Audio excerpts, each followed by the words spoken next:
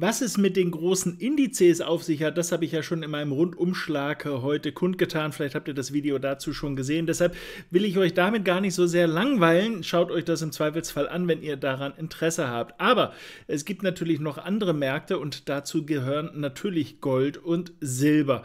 Und ihr seht es, da habe ich schon eine Menge Zeichnungen drin. Aber fangen wir ruhig von vorne an. Wir haben einen Rücksetzer gehabt, der ist einigermaßen tief gegangen und deshalb vielleicht äh, besonders spannend. Ist es noch oberhalb der 78er Marke? Das ist zumindest für mich, ich bin nicht maßgeblich, aber so haben wir es für uns mal so halbwegs festgehalten.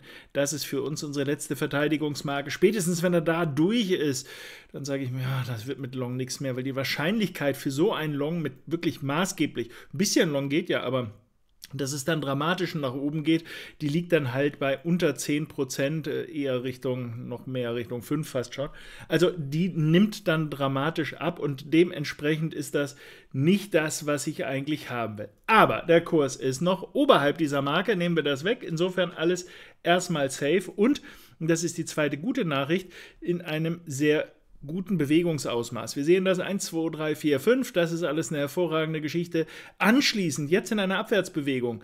Ich vermute allerdings, naja, ich weiß es nicht so richtig, aber ich würde mir wünschen, das ist vielleicht die schönere Formulierung, dass wir hier so im ersten Arm erst unterwegs sind, dass der Kurs jetzt so einen ersten Schub nach unten gemacht hat, wir vielleicht ein bisschen nach oben kommen, ein bisschen ist gut, er schießt jetzt im Moment gerade nach oben, aber dass wir im späteren nochmal einmal tiefer kommen. Warum ist das so wichtig? Wir haben doch das, was ich immer erzähle, nämlich die 38er Marke erreicht. Ja, aber das eben sehr schnell und das mag ich tendenziell nicht so gerne. Ich habe es halt gerne, wenn es ein bisschen gemütlicher ist in der Korrektur als in der eigentlichen dynamischen Überlegung. Also ihr müsst euch immer äh, vorstellen, das soll jetzt der Schub sein, das soll das Kaufargument sein, weshalb die Leute sagen, geil, geil, geil, super der Markt.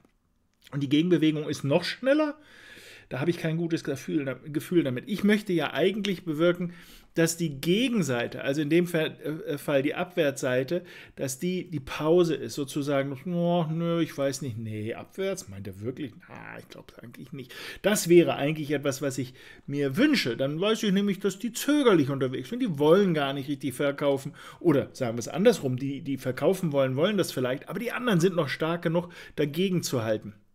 Wenn die so schnell einknicken können hier, dann habe ich immer so ein bisschen Sorge. Ich gebe es ganz ehrlich zu, ich bin vielleicht ein Hasenfuß, aber so bin ich nun mal. Gut, auf mich kommt es nicht drauf an, aber äh, es ist zumindest mal interessant, dass der Markt im Moment sehr stark eben auf der Aufwärtsseite war als letzte Bewegung und diese Abwärtsbewegung noch alle Chancen hat für eine schöne Korrektur. Das wird übrigens etwas, was ich mir vorstellen kann, was wir nochmal als einen besonderen Trade dann auch herausstellen wollen. Deshalb unbedingt Born for Trading beziehungsweise beim äh, Trade des Tages mitmachen, dann kriegt ihr solche Sachen mit unseren ganz konkreten Handelssignalen. Viele sagen aber, ja, das ist immer wischiwaschi und ist immer total unkonkret. Ja, klar, das hier ist natürlich nicht konkret, insbesondere, weil der Markt dieses Teilstück noch basteln muss, um mir einen Einstieg zu geben. Ich brauche da ein bisschen mehr Input. Bei anderen Titeln ist das ja vielleicht was anderes, aber hier fehlt das noch. Also insofern das schon mal als mögliche Vorausschau, wenn das kommt, Trigger hier auf der Oberseite, dann ist das eine Möglichkeit. Nur, dass ihr mal seht, wie das aussieht. Wir haben natürlich viele konkrete Situationen, zum Beispiel Aussie gegen japanische Yen. Ein Titel, den viele gar nicht auf dem Radar haben, weil sie sagen, boah, wer interessiert denn so ein Währungspaar? Mir ist es letztlich völlig wurscht, was wir handeln. Es kommt eigentlich nur darauf an, dass der Markt eine schöne Bewegung macht und wie der Titel dann heißt, ist mir dann ziemlich egal. Hier haben wir zum Beispiel so einen klaren Schub hoch, klar äh, wackelig nach unten. Hier seht ihr, wie sowas aussieht. Da gibt es natürlich eine ganze Reihe Titel, die dafür in Frage kommen. Und äh, das äh, kann man dann auch natürlich ganz konkret beziffern, wo reingehen und wo raus. Aber das wisst ihr wahrscheinlich schon. Deshalb äh, belassen wir es jetzt aktuell bei dem. Wir wollen noch mal einen letzten Blick auf Silber werfen. Wenn wir schon auf Gold einen Blick geworfen haben, weil ich weiß, dass viele auch sagen, ach Gold, das ist mir zu Mainstream, ich gucke lieber auf Silber. Und das meine ich gar nicht im Negativen. Das ist durchaus eine echte Variante, die man da auch nochmal fahren kann. Das Bild hier allerdings ähnlich, also auch hier der deutliche Schub hoch. Das mögliche Wackelige jetzt. Noch ein kleiner Hinweis, was ist denn, wenn das jetzt nicht wackelig ist? Du, Rüdiger, behauptest ja, dass der Kurs jetzt so macht. Naja, das behaupte ich nicht, sondern umgekehrt, wenn er das macht, ist das für mich ein möglicher Trigger für die Long-Seite. Soweit, so einfach. Aber es ist natürlich auch noch möglich, dass das passiert. Das Schöne ist, Da habe ich null Möglichkeiten, long zu gehen. Ich habe ja keinen Trigger. Das heißt, ob ich richtig liege mit meiner Idee, dass der Kurs hier das bringt, das weiß ich nicht. Ich kann das auch nicht in die Zukunft gucken. Geht bei mir genauso schlecht wie bei anderen auch. Aber das äh, Schicke ist, ich kann erkennen, ab wann meine Long-Idee rum ist und das wird eben mit diesen Marken, mit den Fibonaccis, wie ich es bei Gold eben beschrieben habe.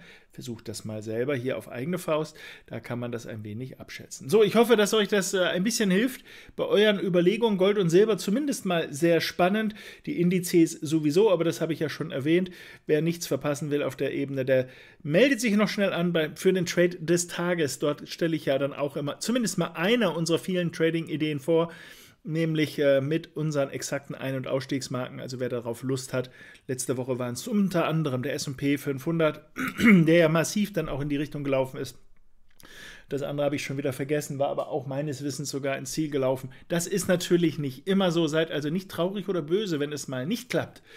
Traden ist eine Frage der Statistik, der Wahrscheinlichkeit und da kann man dann sagen, okay, wenn ich 10, 20, 30 Trades mache, dann sollte deutlich mehr auf dem Konto sein als vorher.